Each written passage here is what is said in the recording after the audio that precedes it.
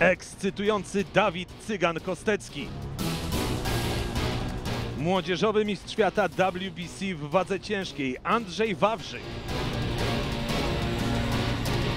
Mistrz świata IBC w wadze cruiser Paweł Kołodziej. Na transmisję gali boksu zawodowego z Łodzi zapraszamy w piątek 18 grudnia od godziny 20 do Polsatu Sport.